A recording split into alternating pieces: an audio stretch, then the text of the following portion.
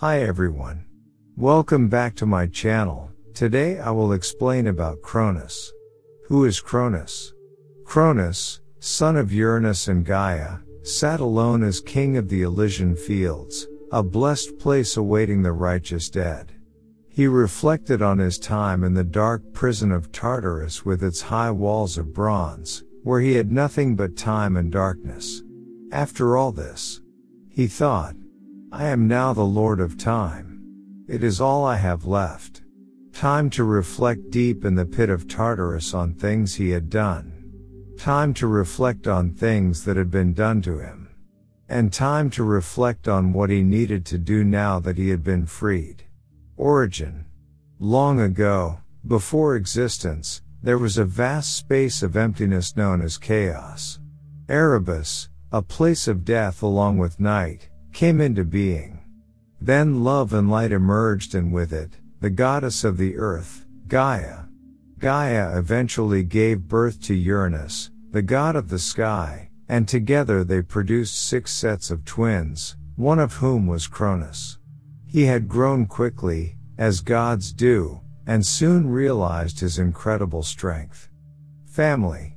Cronus' mother, Gaia, bore several children of Uranus including the twelve twins, Iapetus and Themis, Cronus and Rhea, Hyperion and Theia, Coeus and Phoebe, Crius and Mnemosyne, and Oceanus and Tethys.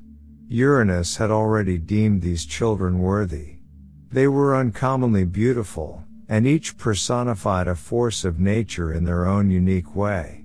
They were even given the name Titans in recognition of their incredible strength, and each grew with the grace and majesty one would expect of divine beings. But after the Titans were born, Cronus' monstrous other siblings were birthed. The Cyclopes, horrors with their single round eye and their stubborn, violent, and emotionless nature could never be worthy of anything but destruction. The Hecatonchires were even worse. They were incredibly strong and fierce, even more so than the mighty Cyclopes. With their 100 arms and 50 heads, Cottus, Briareus, and Gainas were total abominations in their father's eyes, and he imprisoned his youngest offspring in Tartarus. History Cronus rises to power. The story of Cronus' reign began when he alone stood by his mother to free his monstrous siblings. He met with his mother, Gaia, in the silent evening with the other twins. He couldn't stand seeing her state of grief and despair over the imprisonment of her monstrous children. My children, I seek a great hero among the Titans. One who will overthrow their father and liberate their siblings, Gaia said to them. Only Cronus would agree to do what must be done. Seizing his opportunity, Cronus said, I will stand by you, mother. Together, they worked out a plan, and Cronus promised to his mother that her children would be released. Silently, their plan began to take form. Even gods had desires that needed to be satisfied, and Uranus was no exception. Cronus could recognize that Gaia was desired and beautiful. Gaia would arrange to meet with Uranus in the night, while Cronus would be secretly waiting in ambush. At whatever cost, Uranus had to feel the bitterness that Gaia had been enduring for so long. Her time for revenge was at hand and through that revenge, so would come power. Cronus was given a mighty sickle made of stone. The large adamantine blade glistened and was ready to taste blood and castrate Uranus. Tonight, Gaia's children would be set free. And tonight, thought Cronus, with a glint of greed in his eyes, I will rule the universe in my father's place. Cronus waited patiently until Gaia and Uranus met. As she seduced him one last time at the gate of her imprisoned children, Cronus swiftly leapt forward bearing the sickle. With a great slice, Uranus' blood and testicles spilled into the sea. The swirling blood began to change and take the form of two enormous beings, Erinyes and Melie, the race of Gigantes. White foam spilled out of the testicles, taking shape as the beautiful goddess, Aphrodite. Uranus fell to the ground, enraged and in terrible pain. The vicious attack upon him by his own son was realized too late. Swearing vengeance, he gathered what little strength he had left and disappeared, leaving Cronus alone to witness the monstrous forms at the gates of their prison, Tartarus. Cronus begins his reign. The time for the mighty reign of Cronus will begin today. He proclaimed. But then Cronus gazed over towards the gate. He quickly realized why his younger siblings were imprisoned when he saw their violent twisted faces, staring eyes, and many hands. They shouted viciously and angrily at him. He had never seen them before, they had been so swiftly hidden away. Instantly he knew that they were dangerous. He cared for his mother, but these creatures were a threat to his throne and his power. They could not be set free, promise or no promise. Gaia would never understand this, being blinded by a mother's love, but Cronus' eyes were wide open to the threatening horror within that pit. Cottus, Briareus, Gainas, and the Cyclopes screamed in terrible anguish and fury as their gate was shut yet again, and the shade of darkness pulled over their eyes. A mighty dragon, Campe, was set in front of their prison as a guard. Cronus sat alone in the firelight from the dragon's breath, deep in thought over what he had seen and done. He had just overthrown his own father and seized the throne with his sister, Rhea. He had broken a promise to his beloved mother, justifying it to himself over and over again to relieve himself of his guilt. I am no monster, they are, he thought to himself.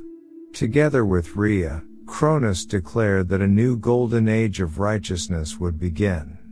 The mortals on earth celebrated and began to live in a time where there was no need for laws or rules, without immorality and without evil. But Cronus knew better than to believe it was any kind of age of righteousness.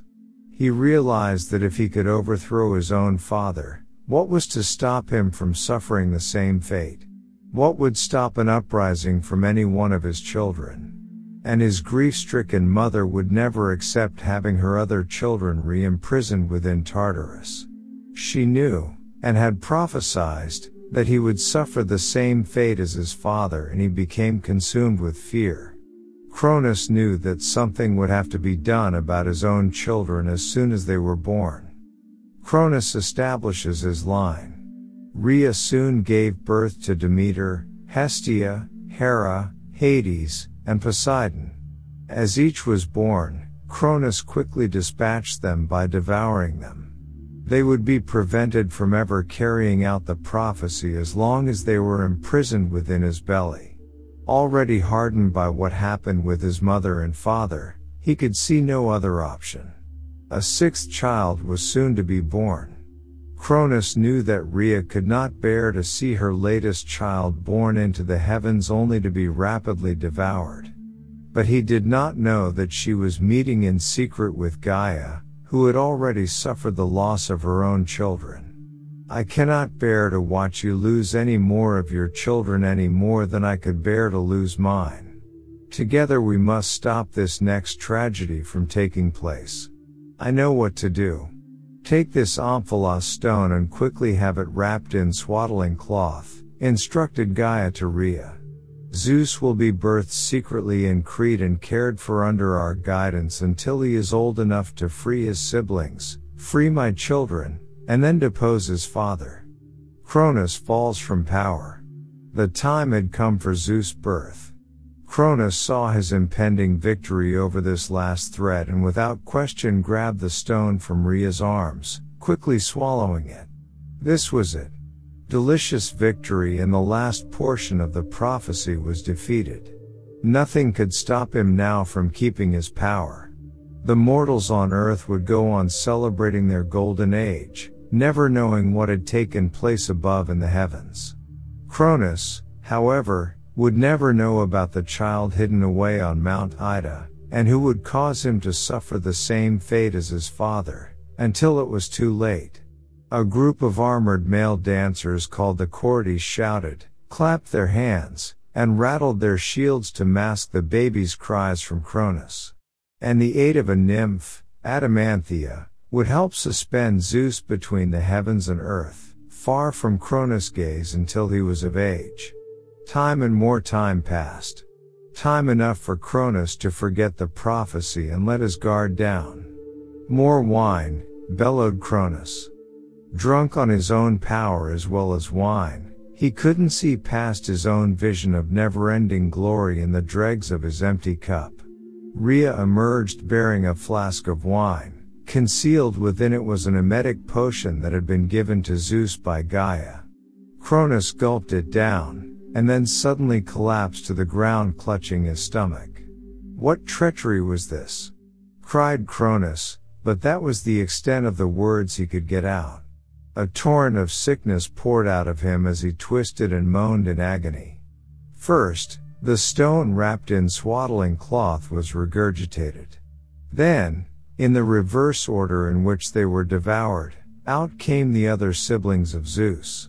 Cold with sweat and sickness, Cronus could only watch in terror as the prophecy became fulfilled.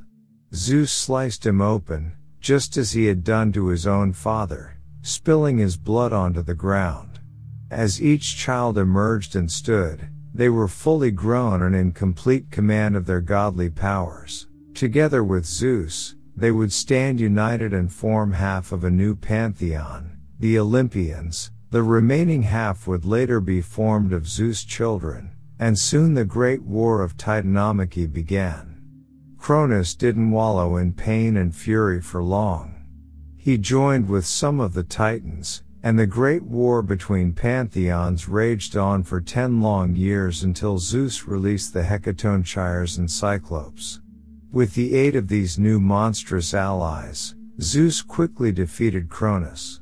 Cronus' imprisonment ended with an act of mercy and pity from Zeus. Father, I see that you have begun to understand what it means to be the Lord of time. At last you understand what it means to be a true God. I release you from Tartarus, said Zeus. I grant you the Elysian fields, a blessed place awaiting the righteous dead. Begin your rule over this place as king, under a second golden age. Cronus wept tears of relief at Zeus' pity and mercy. No longer did he have to suffer the same fate as his father. The people on earth would forever know him as a god of benevolence, kindness, and generosity.